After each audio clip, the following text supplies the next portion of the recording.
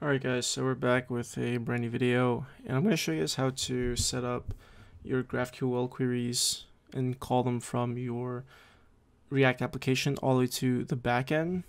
Okay, so you need to make sure you install Apollo client as well as Apollo GraphQL. So it's pretty straightforward. You just type in yarn or npm install. Well, I'm going to type in yarn add. For you guys, if you're using npm, you would do npm install and you want to do Apollo client like that. And you want to make sure you also install GraphQL. Okay, these are two dependencies that are required, and that's pretty much it. Those are the only two things that you'll be installing. Okay, once you've installed those two dependencies, we're going to go ahead and import Apollo client from Apollo client. So you should see the IntelliSense pop right over there. Okay, so we need to basically create a client. Now, the thing with our application is that it requires authentication. So we are going to need to pass in the credentials because by default it doesn't. So we're going to import create HTTP link.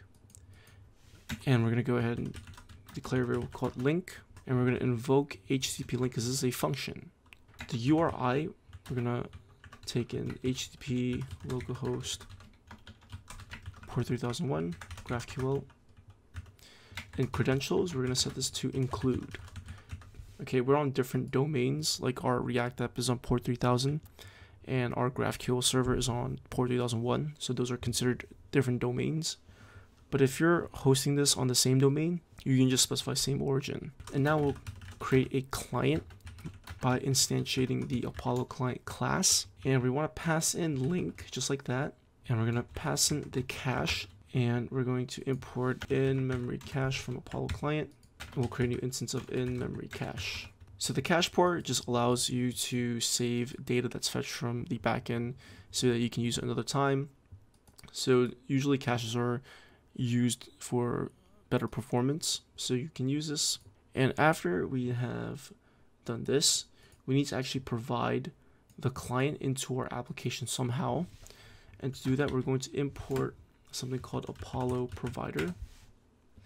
And we're going to need to wrap our application around Apollo provider. And there's a prop that we're going to pass in called client. Okay, there we go. And that's literally all we have to do. That's all it is. Okay, so if we want to go into our app, it should still work just fine. And there you go, our app works just fine. Okay, so what's next, right? After we've done this part, how do we actually make our GraphQL queries? Okay, well, what we're going to do is we're going to create a new folder called GraphQL, and I'm going to create two folders inside GraphQL called queries, one for queries and one for mutations. Now, I'm going to create an index.js file, and I'm just going to store all the queries inside here we want to create two queries. One query is going to get all of the data for dashboard page, and one query is going to get all the data for menu page. Because right now, if you look at menu page, we're making two REST API calls, which is not a lot, but if we were to scale our application, we would end up, we might end up needing to make a bunch of different like you know API calls, like probably like five or six or seven. So it's better if we start using GraphQL for this. So instead of doing this, we can just make one API call. Now for dashboard page, we're making, I think, what, three or four? One, two, three, yeah, three. Okay, so let's do this. Let's create a query. So in order to create a query, we're going to need to import something from the Apollo client. So we're going to go ahead and import GQL. And this is going to allow us to create our GraphQL queries. So we're going to create a query called menu page query. And we're going to type GQL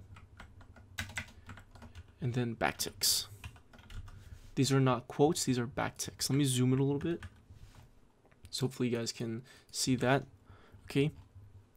So we're going to go ahead and create our query similar to how we did that in the GraphQL UI in the previous videos.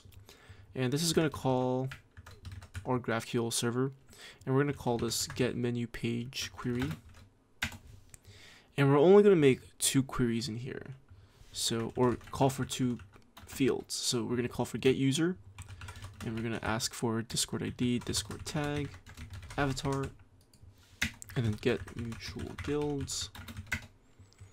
We'll do included, so we need at least the name and the ID, and then excluded name and ID. Remember, the get user is going to retrieve the user details, okay, and then get mutual guilds is going to give us all the guilds that both the bot and the user is in, where the user has the managed server permission, at least the managed server permission. All right, so this is going to take care of retrieving all of the data from the menu. Okay, and we're going to set up one more query. So I'll do that real quick. So this query is going to be getting dashboard data. So const or I'm sorry, not dashboard data, dashboard page data. So for the actual page itself. Had to clarify that because some people might be confused. Like, what do you mean by dashboard data? That's, isn't the whole application? So no, it's just when I say dashboard page, I mean the actual individual page itself. So GQL. Okay, and we're gonna go ahead, and this query is gonna be a little bit different in the sense that we're going to take in a parameter because we need to get the guild config as well as the guild roles, and we need a unique guild ID for that. So query get dashboard page data Okay, and to pass in the parameter, so we're going to pass in the guild ID as a parameter, and the type is going to be a string. And it literally looks like the same way that you would invoke a function. And we're going to ask for, let's see, get user, Discord ID, Discord tag, and then the avatar. It's the same thing as above. Okay, nothing's different. But this time we're going to ask for get guild config. Now, in case you guys are confused, remember, these field names are all of the same field names that we have defined on the back end. Okay, remember in our, uh, let's see, where is it? GraphQL over here. We define all of these on the back end. So you want to make sure they're the same exact name. Okay, so for get guild config, we're going to take in the guild ID. And whatever we're passing in for this guild ID over here is going to be passed in as a value for this parameter and we're going to ask for the prefix, the guild ID, default role, and member log channel. And now we're going to ask for get guild roles. So guild ID, guild ID, and we're going to ask for the ID, name, color, and hoist. Probably only need ID and name to be honest, so we probably don't need the color and hoist. But yeah, so that's pretty much our query. Okay, that's all it is. So in the next video, what we're going to do is we're going to go ahead and actually call these queries and show you guys that it actually works. So hopefully this video made sense, and I'll see you guys in my next one. Peace.